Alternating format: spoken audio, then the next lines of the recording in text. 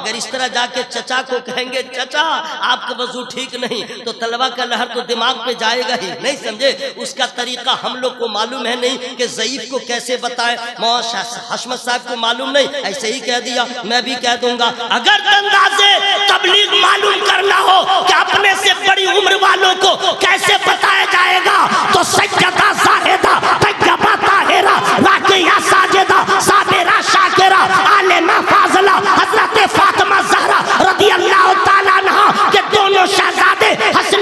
हसनैन करीमैन है। एक ज़ईफ आदमी वज़ू कर रहा है। वज़ू में कमी रह गई। दोनों भाइयों ने कहा, इनको बताया कैसे जाए? क्या अंदाज है? क्या स्टाइल है? क्या तरीका है? दोनों भाइयों ने नहीं कहा। आपका वज़ू ठीक नहीं। कहते हैं वो मेरे बुज़ुर्ग मोहतराम, हम दोनों भाई छोटे हैं। हम वसू करते हैं। देखिए वसू कैसा हो रहा है। दोनों वज़ू बना रहे देखिए कैसा हो रहा है। वज़ू करते गए, इनके वज़ू में खराबी कैसे होगी? इनकी वज़ू में खामी कैसे होगी? इनके वज़ू में कहीं से कमी कैसे होगी? क्योंकि बाप है तो बाबे मदीना है। माँ है तो सज्जदा साहेदा जिनकी परवरिश की हुई हो, जिनके घर से शरीयत निकली हो, जिनके घर से तरीकत का दरिया बहा हो, उनके बच्चे, उनके शहजादे के वज़ू में कमी क्या है? वज़ू करने लगे, हाथ धो लिया है। आप बोलिएगा सुबह या मैं बोलूँगा? नहीं मैं ही बोल रहा हूँ। आप लोग चुपिए, आप लोग चुपिए, आप लोग चुपिए। मैं खुद बोलूँगा। हाथ धो लिया सुबहान अल्लाह कुल्ली कर लिया सुबहान अल्लाह मैंने दो मरतबा सुबहान अल्लाह का, मुझे सवाब मिला कि नहीं? बस आप लोग बोले मिला ना? और आप जो मुँह फाड़ के चुप रहे, आपको क्या मिला? तो होशियार बनते हैं, मौका का फ़ायदा उठाइए। हाथ धो लिया। वज़ू मुकुल्ली कर लिया। नाक में पानी डाल लिया। नाना के बताए तरीके के मुताबिक चेहरा धुल लिया। हाथ धुल लिया। ये बुज़ुर्ग मोहतरम दोनों के वज़ू को मुलायजा फरमा रहे थे। जब वज़ू से फारिग हो गए तो बुज़ुर्ग हो के दोनों बच्चों के करीब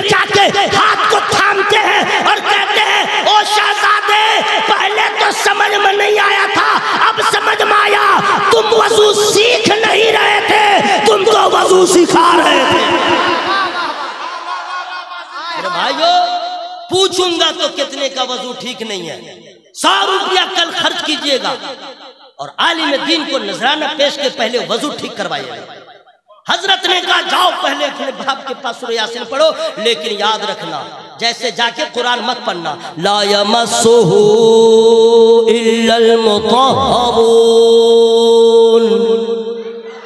बगैर वज़ू कुरान नहीं छू सकते। पहले वज़ू कर लो। जैसे तैसे वज़ू कर लिया, अब आया। अब ढूंढ रहा है, सूर्यासीन है कहाँ? इधर उधर कर रहा है, उसको मिल ही नहीं रही है। उतने में हज़रत पहुँच गए, सोचा कि चंदा देता था मदरसा में, जरा हम भी खबर लें गए तो देखा, आवाज़ तो वही आ रही है। इसका बेटा क्या कर रहा है? गए तो देखा, क्या कर रहे बोले, हुजूर, सूर्यासीन नहीं है। कुरान में नहीं है। बोले, हुजूर, ढूंढ रहा हूँ। कमीना। जो साल में कुरान पढ़ेगा, तुझे क्या नज़र आए? रोज़ाना पढ़ लिया होता, तब समझ में आता, सूरह बकरा कहाँ है? सूरह इमरान कहाँ है? सूरह मरियम कहाँ है? सूरह यासीन कहाँ है? कमीना। चल खोल बाईसवा पारा सुबह अल्लाह। खोल बाईसवा पारा सूरह फातिर के बाद है कि नहीं? है, देखा। अब जो पढ़ाई शुरू किया, वही मैं आप लोग को बता रहा हूँ। अब जो पढ़ाई किया, लोग कहते हैं कि आप ऐसे ऐसे बोलते हैं, मैं रियल बोलता हूँ। सुनते नहीं, इसलिए नहीं मालूम है। अब पढ़ाई शुरू किया।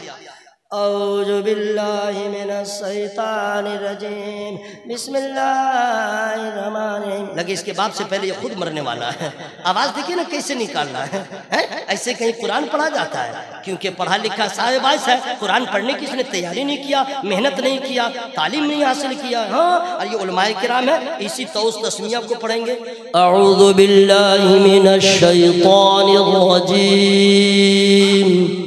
बिस्मिल्लाहिर्रहमानिर्रहीम।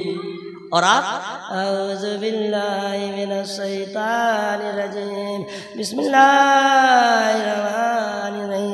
चल, शुरू कर, अब शुरू कर रहा। यासीन। अब देख रहा है आपको, मरा कि नहीं?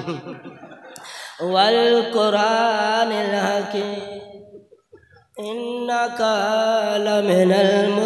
आयत में देख रहा हुआ क्या? हुआ क्या? हज़रत ने फरमाया, पढ़ता जा। तो इसकी बरकत है, सरकार फरमाते हैं, क्या? मैं फ्री में नहीं बताऊँगा। आप क्या समझे? पैसा दीजिएगा तब। फ्री का मतलब हुआ कि आप सुबह कहिए, तब मैं बोलूँगा। नबी फरमाते हैं कोई मुसलमान आलम जागनी में हो सूरज यासीन की तिलावत करो हयात होगी तो अल्लाह शिफा दे देगा वक्त हो गया होगा तो आसानी से रूह निकल जाएगा। अब पढ़ रहा है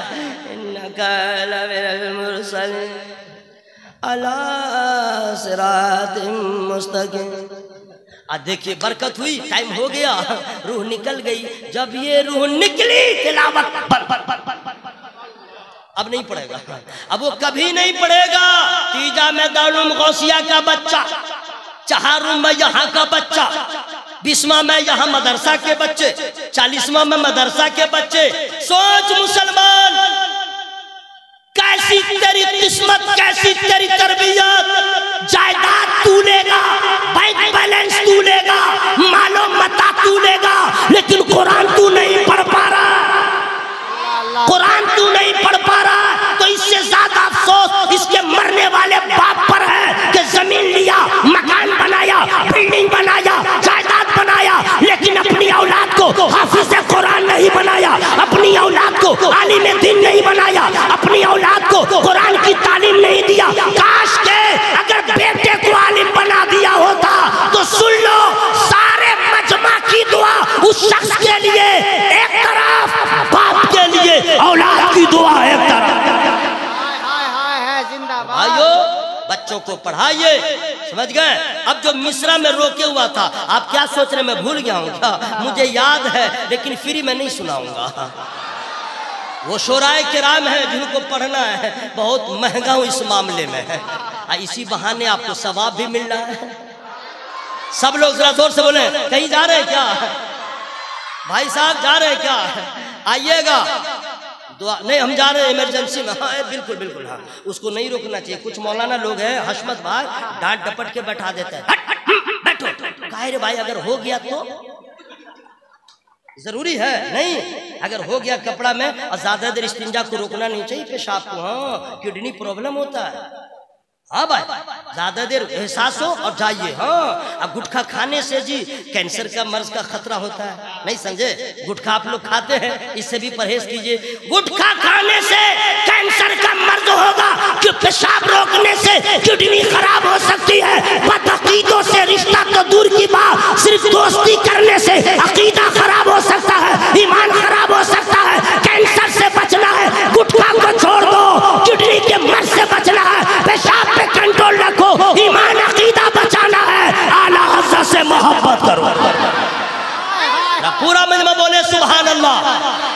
सुनिए हज़रत वो मिश्रा भी मेरा बाकी है। मेरा नहीं है मुबारक भाई का। मुस्तफ़ा के असीर का पानी। वाह वाह वाह। मुस्तफ़ा के असीर का पानी यानी रब के फकीर का पानी। दागे आसे पे धुल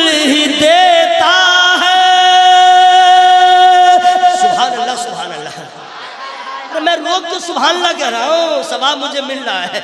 आप लोग सोच रहे थे टांगता रहे, यहाँ से चले पटना तक टांगते टांगते, मर जाए तब मैं बोलूँगा, इन्ना लिल्लाहि व इन्ना राजा अरे, ये भी आपको बोलना चाहिए, मत बोलिए, मैं तो सांस रोक रोक के, मिश्रा रोक रोक के बोलूँगा। मुस्तफ़ा के असीर का पानी, यानी रब के फकीर का पानी, दागे आसे पे धुल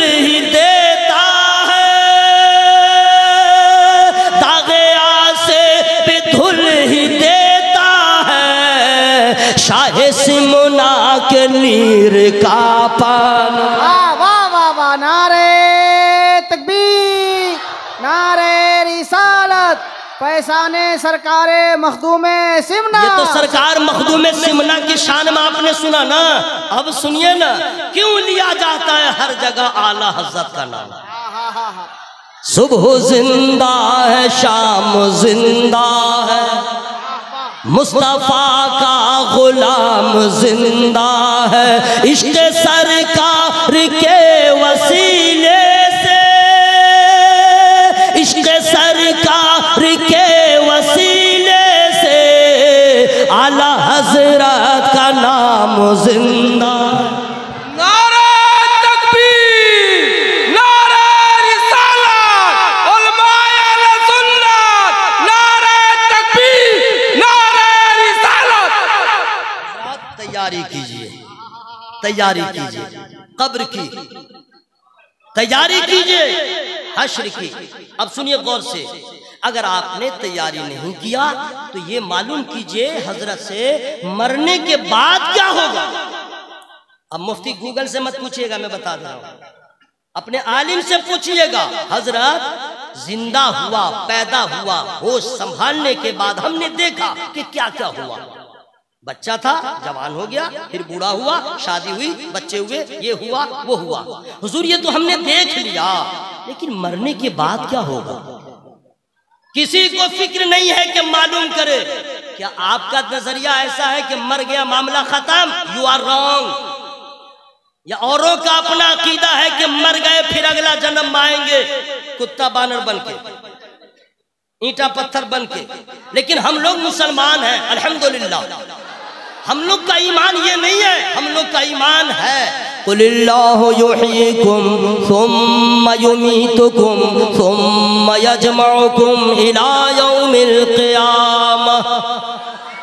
अय महबूब फरमा दीजिए अल्लाह ने तुम्हें ज़िंदगी दिया फिर तुम्हें मौत देगा फिर तुम सबको जमा करेगा।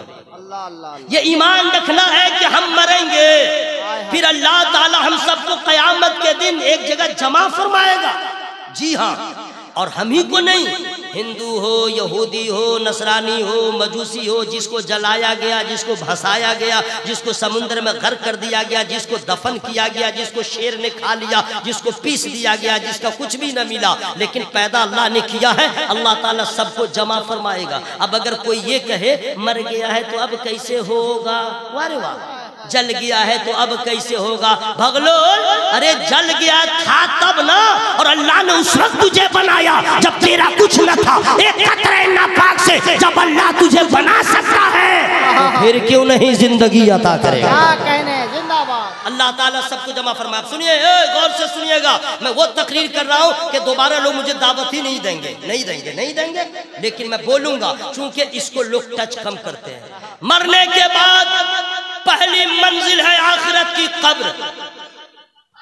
क्या है? कब्र कब्र। और ये कब्र के बारे में आप लोग, हम लोग क्या जाने? हम लोग तो इतने बेवफा हो गए गाफिल हो गए, गैरत मर गई एहसास का मादा खत्म हो गया है कि कब्रिस्तान में जाके हँसते हैं। कब्रिस्तान में जाके बातें करते रहते हैं। कब्रिस्तान में जा करके मोबाइल ऑन रहता है। कब्रिस्तान को समझते नहीं कि कौन सी जगह है। ये कब्र क्या है? बाज लोग कब्र में उतरते भी हैं। बाज लोग कब्र खोदते भी हैं और कब्र देखते भी हैं। लेकिन आपने देखा होगा, उसी तरह बात करता रहेगा। लेकिन दामाद मुस्तफ़ा दामाद मुस्तफ़ा, जिनके निकाह में सरकार ने एक के बाद एक, दो बेटियों को दिया। अल्लाह। जुन्नुरैन कहा जाता है। जिनके हया का यह आलम था नबी फरमाते हैं उस्मान वो है जिससे फरिश्ते हया करते हैं। हाय हाय हाय हाय। उनका आलम क्या है? गौर से सुन लोगे मेरे भाई। उनके सामने जब जहन्नम का तस्करा होता तो उतना नहीं रोते। आतिश दोजक का तस्करा होता तो उतना गमनाक न होते। लेकिन जब कब्र का ज़िक्र होता अल्लाह अल्लाह अल्लाह। इतना आँसू बहता कि दाढ़ी शरीफ के बाल तर हो जाते। पूछा जाता हुजूर जहन्नम का ज़िक्र होता है इतना नहीं रोते जितने कब्र के ज़िक्र के बाद रोते हैं। क्या जवाब है मेरे भाई? क्या तकरीर होगी? बस इसको घर लेके चले जाना। फरमाते हैं अरे मैं इसलिए रोता हूँ कि आखिरत की पहली मंजिल कब्र है जो यहाँ बच गया वो वहाँ बच गया। हाय हाय हाय हाय हाय। कब्र वो जगह है न विंडो है न दूर है। तारीकी है अंधेरा है। कुछ भी नहीं है और रहना कितने दिन है खुदा जाने। अल्लाह अल्लाह अल्लाह। रहना कितने दिन सुन लो। बेअमल अगर मरे तो याद रखना हिसाब होगा इम्तिहान होगा। अगर जवाब ना दे सके वो अजदहा आएगा कि दुनिया की किसी चिड़ियाखन में दुनिया दुनिया में है ही नहीं वैसा बहुत सांप है दुनिया में। एक मर्तबा काटे बर वक्त इलाज हो जाए बच जाए। गोहमन सबसे डेंजर है ना? वो काटता है तो लोग जल्दी जल्दी जाते हैं। कुछ लोग बचते हैं, कुछ लोग नहीं बच पाते। इतना ही होता काटा, जहर फैला, मर गया। लेकिन कब्र में जो सांप है, इतना डेंजर है कि एक मर्तबा डसेगा। उसके डसने की वजह से सत्तर गज ज़मीन में आदमी धस जाएगा। फिर निकालेगा, काटता रहेगा। हम लोग सोचते हैं कि बस ऐसी ही दुनिया है, और इसमें सिर्फ़ मर्द को नहीं मुसलमान औरत का भी यही हाल होगा। तैयारी कर। बोले, इंशाल्लाह। जरा ज़ोर से इंशाल्लाह। अब आइए और आगे। कब्र से अल्लाह ताला उठाएगा। हश्र में जमा फरमाएगा। लेकिन इंडिया गवर्नमेंट हो या अमेरिका हो या स्विट्जरलैंड हो, हर मुल्क के लोगों ने अपने अपने यहाँ कानून बनाया। कानून के उल्लंघन करने वालों के लिए जेल बनाया। सही बोल रहा हूँ भाई? जेल बनाया ना, अगर दाया बाया किया दफ़ा लगेगा, सफ़ाई नहीं दे सके, जुर्म साबित हो गया, जेल में चले जाओ। और उस जेल में क्या क्या इंतज़ाम है? कंबल भी मिलता है। हाँ खाना भी हेवी हेवी मिलता है, सुन लीजिए, अंडा भी मिलता है। हाँ खाना भी मिलता है, और क्या क्या बिस्तर भी मिलता है, चाहे जैसा बिस्तर हो। टॉयलेट का भी इंतज़ाम है। इंतज़ाम सब है। बीमार हो जाए तो इलाज का भी यही जेल है। इस जेल में जाने से इतना ही होता है कि लोग किसी से बाहर वालों से मिल नहीं सकता। आज़ादी खत्म हो जाती है। अल्लाह ताला ने दो मकामात बनाया। दो। कानून बनाया। और कानून के पालन करने वालों के लिए अलग जगह, कानून के उल्लंघन करने वालों के लिए अलग जगह, यानी जो अल्लाह के कानून पे चलेगा, उसके लिए जन्नत जो अल्लाह के कानून को नहीं मानेगा, उसके लिए जहन्नम। अब जन्नत कैसी है? जहन्नम कैसा है? अब जरा गौर से सुनिएगा, गूगल से मत पूछिएगा फेस टू फेस में बता दे रहा हूँ, जहन्नम वो जगह है जहाँ रोशनी नहीं है, जहन्नम वो जगह है जहाँ इतमान नहीं है, जहन्नम वो जगह है जहाँ करार नहीं है। जहन्नम वो जगह है कि जहाँ अजाब ही अजाब है, सांप ही सांप है, बिच्छू ही बिच्छू है, भूख ही भूख है, प्यास ही प्यास है। जहन्नमियों के पानी पीने का इंतज़ाम और खाने का जो इंतज़ाम, अल्लाह अल्लाह। इन तामुल अफीम कल मुहल फिल बुतून। है इतना गर्म पानी पिएगा, वो पानी जिधर से गुजरेगा, अतड़ियों को गलाता हुआ बाहर चलाएगा। कांटेदार फल है जकूम जकूम इतना, इतनी बदबू है उसमें कि नबी फरमाते हैं, अगर उसका एक कतरा ज़मीन पे टपका दिया जाए तो दुनिया के लोग उसके बदबू से मर जाएँगे। वो जहन्नमियों की खुराक है। हज़रत सांप है, बिच्छू है, लेकिन याद रखिएगा, शराबी के लिए अलग इंतज़ाम अजाब का है, बेनमाजी के लिए अलग है। यानी वहाँ सुकून नहीं है और ऐसा ऐसा डेंजर सांप है, काटेगा, लेकिन आदमी मरेगा नहीं। कोयला बन जाएगा जल के, लेकिन मरेगा नहीं। इधर चमड़ा चलेगा फिर चमड़ा पैदा हो जाएगा। यह अजाब होता रहेगा। लोग परेशान रहेंगे। कोई वहाँ पे कौन किसको पूछता है? सबका अलग अलग है। हजरात, कभी आपने सोचा है? कभी आपको फ़िक्र हुई है? आप घर से निकलते हैं, हेलमेट लेके चलते हैं, कहीं केस न हो जाए। जूता पहन के चलते हैं और तमाम कागजात लेके चलते हैं। अगर कभी पकड़ा गए, धुआँ का कागज़ लेके चले। अगर नहीं तो आपके ऊपर दंड लगेगा। अगर आप नहीं दीजिएगा, गाड़ी जब्त हो जाएगी। और ज़्यादा परेशान कीजिएगा, पुलिस अंदर कर सकती है। ये दुनिया वालों का कानून है। अल्लाह के कानून को नहीं मानिएगा। आपका हाल क्या होगा? अल्लाह ताला के अजाब का आप शिकार हो जाएँगे। इसलिए दोस्तों, बेहतर मुनासिब है ट्रेन के आने से पहले मुसाफिर स्टेशन पहुँच जाए वरना ट्रेन चली जाएगी। मौत आने से पहले कब्र की तैयारी हो हश्र की तैयारी। अब सुनिए दोनों के बारे में, जहन्नम के बारे में जरा सा मैंने बता दिया है। अब जरा जन्नत देखिए कैसी है। जन्नत देखिए कैसी है। सुबहान अल्लाह सुबहान अच्छा जहन्नम जो है ना, बाप रे बाबू तो हम बतावे नहीं किए। जहन्नम में जो जहन्नमियों को जंजीरों से जकड़ के बांधा जाएगा, उस जंजीर की कैफियत क्या जानते हैं? उसका एक टुकड़ा, जंजीर का एक टुकड़ा दुनिया के किसी पहाड़ पे रख दिया जाए तो पहाड़ रेजा रेजा हो जाएगा। और उससे जहन्नमी को बांधा जाएगा। उसकी बदबू इतनी होगी कि अगर किसी जहन्नमी को दुनिया के किसी कोने में, ज़मीन पे उतार दिया जाए, अमेरिका के किसी देहात में तो वहीं के लोग नहीं, पूरी दुनिया के लोग उसकी बदबू से मर जाए ये जहन्नम है जहन्नम। जहन्नम से बचना है, अल्लाह को राज़ी करना है। जहन्नम से बचना है, नबी की अतात कर रहे हैं। अगर आपने खुदा रसूल की नाफरमानी किया, कोई बचाने वाला नहीं रहेगा। ये जहन्नम है। अब जरा जन्नत को देख लीजिए, लेकिन फ्री में नहीं बताऊँगा। आप क्या सोच रहे थे? मैं भूल गया हूँ क्या? मुझे तो याद है। ज़ोर से बोले सुबह अल्लाह। जन्नत वो जगह है कि अपनी अपनी फैमिली को समझा दीजिएगा। यहाँ जैसे तू पकाती है कोस कोस के, अब पसीना पोछ पोछ के। जन्नत में तुझे पकाने की ज़रूरत नहीं। जन्नत में तू कपड़ा भी मेरा नहीं धोएगी। और अगर कोई औरत अपने मर्द को कहती है, कमा के लाओ।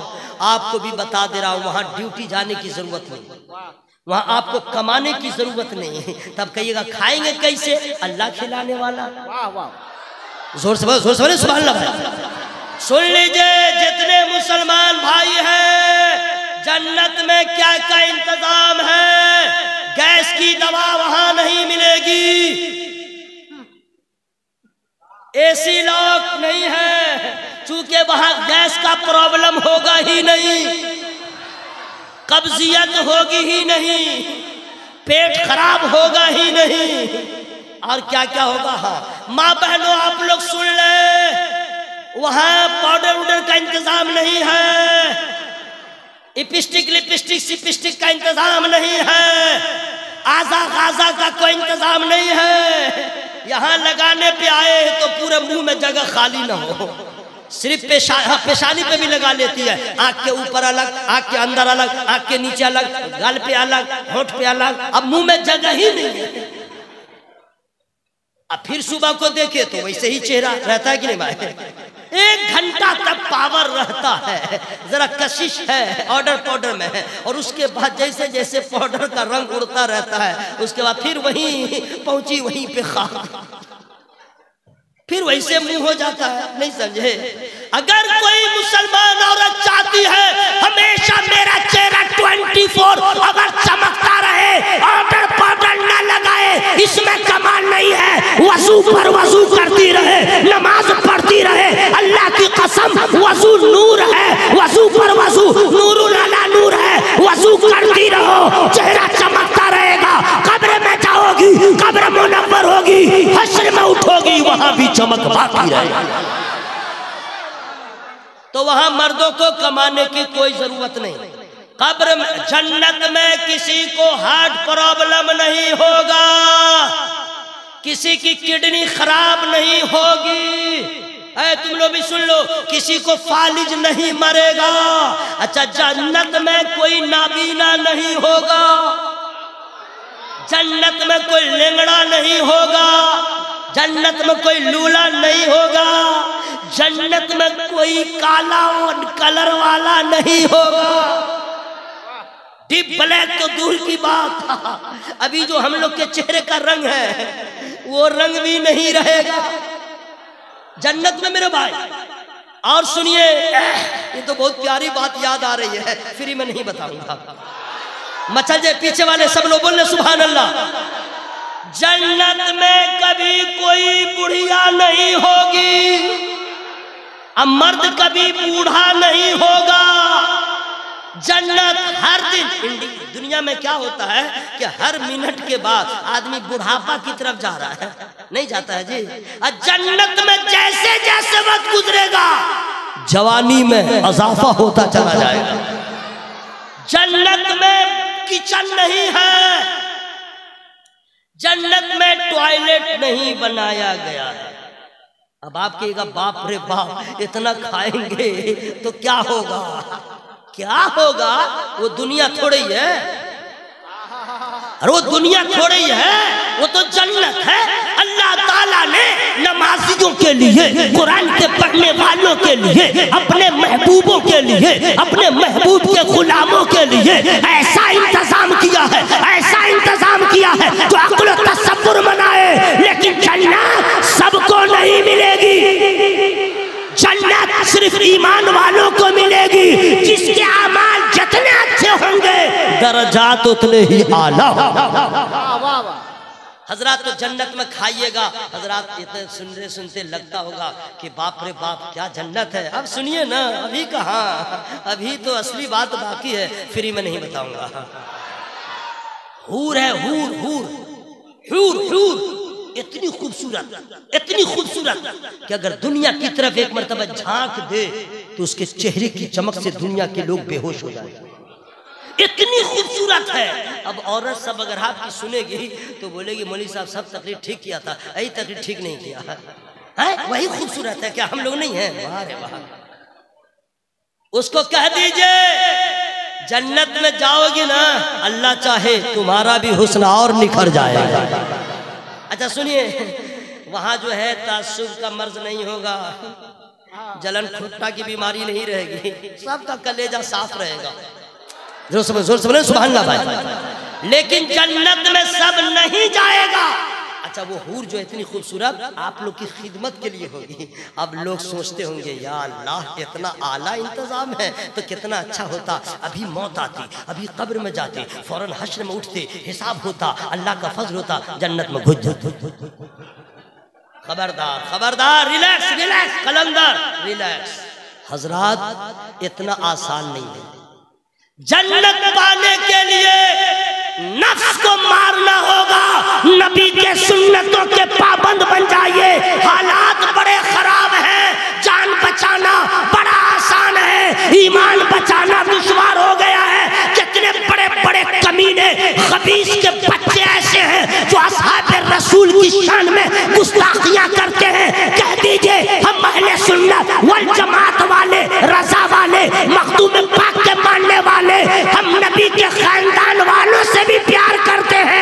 नबी के असहाब से भी प्यार करते हैं।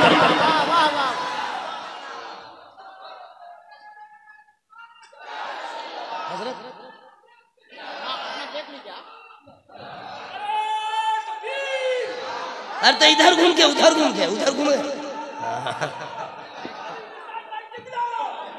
हजरात सुना जाए सुना जाए, जन्नत ऐसी जगह है हजरात मैदान महशर का आलम।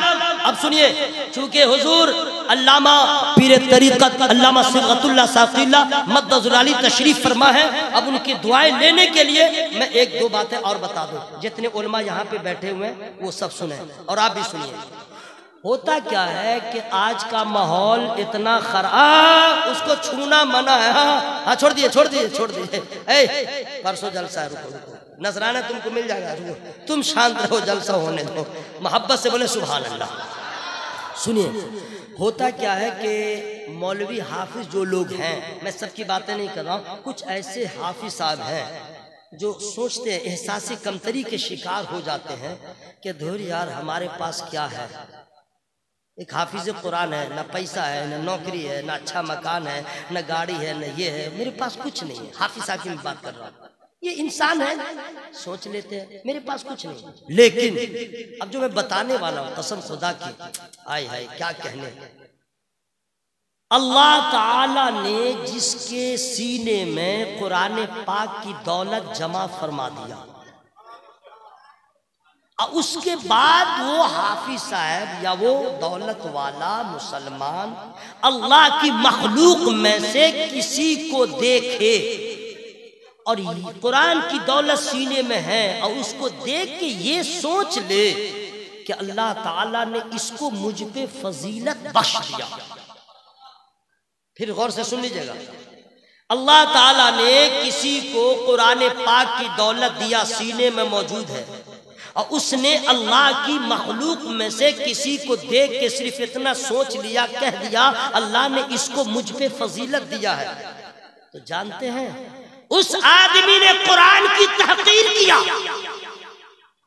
क्योंकि जिस दौलत की बात कर रहे हो, सारी दुनिया की दौलत एक तरफ़, कुरान की दौलत एक तरफ़। जरा ज़ोर से ज़ोर से बोलो ना सुबह भाई। अरे इस दौलत के बारे में क्या कहोगे? जिस दौलत की शान ये है कि कानून बदला आइन बदला, दस्तूर बदला, लेकिन है कौले मोहम्मद, कौले खुदा। फरमान न बदला जाएगा, बदलेगा जमाना लाख मगर कुरान न बदला जाएगा। ये वो दौलत है कि कभी अबू जहल ने चैलेंज किया कुरान को, कभी अरब के फुसा ने चैलेंज किया कुरान को। हर दौर में कुरान को चैलेंज किया गया। चैलेंज करने वाले का वजूद खत्म हो गया। कुछ करीब में ये लखनऊ का कमीना जो है, उसने कुरान के बारे में चैलेंज किया। वो जहन्नम में तो जाएगा ही। अब फ़ौरन चंद दिनों की बात है जो अपने आप को देवबंदियों का सबसे बड़ा गुरु घंटाल पाकिस्तान का वो मौलवी कुरान पाक में तनवीन पे बहस करता है। उस कमीने खबीस को मालूम नहीं। अबे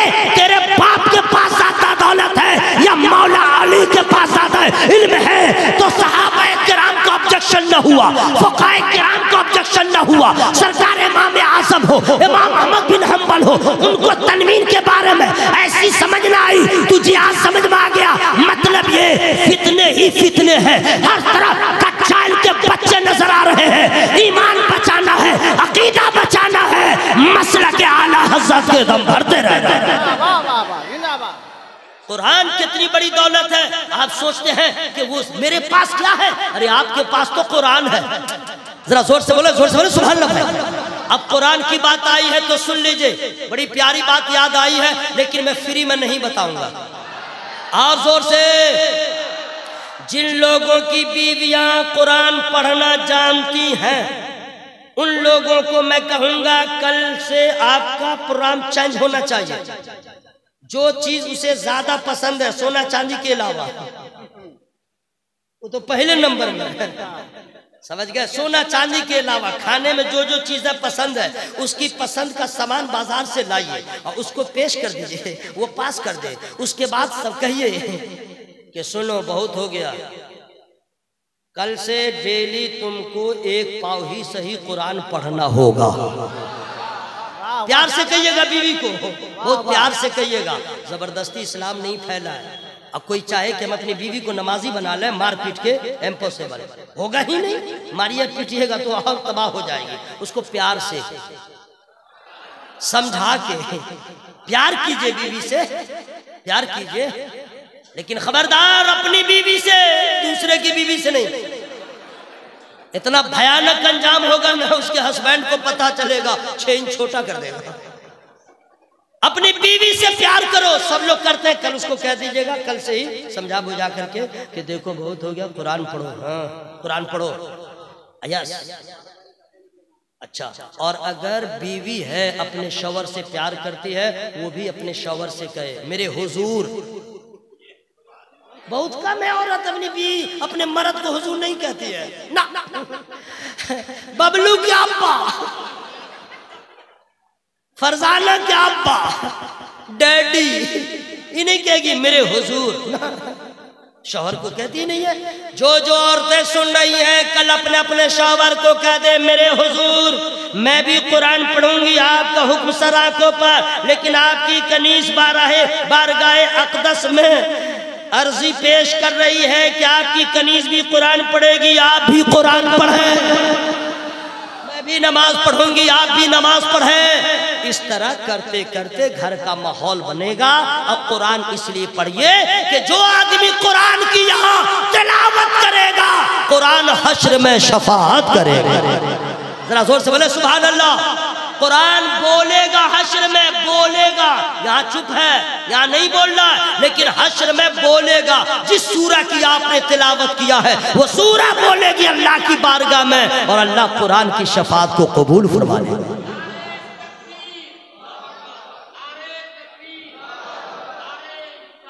हज़रत, अब कुरान जो पढ़ना चाहते हैं तो कुरान अपने तौर पे मत पढ़िएगा, कुरान सही सही पढ़िएगा। कुरान सही पढ़िए। कुरान सही पढ़िए, सीखना होगा। वो इंग्लिश नहीं है। A B C D F G H I J K L M N O P Q R S T U V W X Y Z याद है। आप क्या समझ रहे हैं? अल्ली भी याद है क्या? अल्ली बात आयत नहीं याद है। ये भी याद है। इसका मैं हाफिज हूँ। इसको जैसे चाह पढ़ लिया। कुरान वो नहीं है। इंग्लिश दुनिया वालों की जबान जैसे चाहो पढ़ लो। कुरान अल्लाह का कलाम। अपनी मर्ज़ी के मुताबिक नहीं पढ़ सकते। जो उसूल है जो साख्ता है जो तरीका है उस तरह पढ़ना होगा। वरतिल कुरान तरतीला। कुरान को तरतील के साथ पढ़ो। तजवीद सीखना होगा बगैर तजवीद के। आप कुरान कहेगा तजवीद है क्या? मौलवी साहब फसारा, अरे तजवीद क्या है? हरूफ के मखारिज की दुरुस्तगी। अलिफ का मखरज अलग है, बा का अलग है, ता का अलग है ता का अलग है, जिम का अलग है, हा का अलग है। और आप लोग सबको एक ही में जैसे दाल भात मिलाते हैं घपा घप खाते हैं। हाँ कह देते हैं, खा है तो उसको कहते हैं, खा। तो खा क्या? हरूफ की मखारिज की दुरुस्तगी, इसको सीखना पड़ेगा। कसम खुदा की, जब मखारिज की दुरुस्तगी होगी और तजवीज सीख लेंगे, कुरान पढ़िएगा, ऐसा लगेगा, जिए तो कुरान पढ़ते रहे, रूह निकले तो कुरान पढ़ते रहे। तमाम उलमा और दारुल गौसिया के तमाम अरकान की एक ही तमन्ना है, यही है आरज़ू तालीम कुरान। आम हो जाए, हर एक परचम से ऊँचा परचमे इस्लाम हो जाए। मैं आपका खादिम, मैंने जो पैगाम आपको दिया है, तन्हाई में बैठ के सोचिएगा, तैयारी कीजिए, कब्र की, तैयारी कीजिए, हश्र की, सब छूटे छूटे, नमाज़ न छूटे इनशाला मेरी गुफ्तगु में जो छोटी बड़ी गलतियाँ हो गई हूँ, मैं इंसान हूँ, मैं अल्लाह की बारगाह में तौबा इस्तिगफार करता हूँ, सब लोग ज़ोर से पढ़ेंगे और शामिल हो जाएँगे। पढ़े अस्तगफिरुल्लाह। ज़ोर से ज़ोर से, अस्तगफिरुल्लाह। रब्बी कलमा शरीफ ज़ोर से पढ़िए, पिंडाल फटे, माए फटे लाइट फटे, कलेजा फटे, मर जाए, ज़िंदा रहे, कुछ भी हो, लेकिन आवाज़ में कोई कमी नहीं हो कलमा पढ़ते रहे, ला इलाहा इल्लल्लाह। आप लोग तो लग रहा बस ऐसे ही है। निकाली ना आवाज़ जो छुपा के रखे हुए हैं। इसमें आवाज़ नहीं निकालिए तो कहाँ निकालिएगा? हमने पहले कहा, पिंडाल फटे तो फटे, मर जाए तो भी। ला इलाहा इल्लल्लाह। मुहम्मदुर रसूल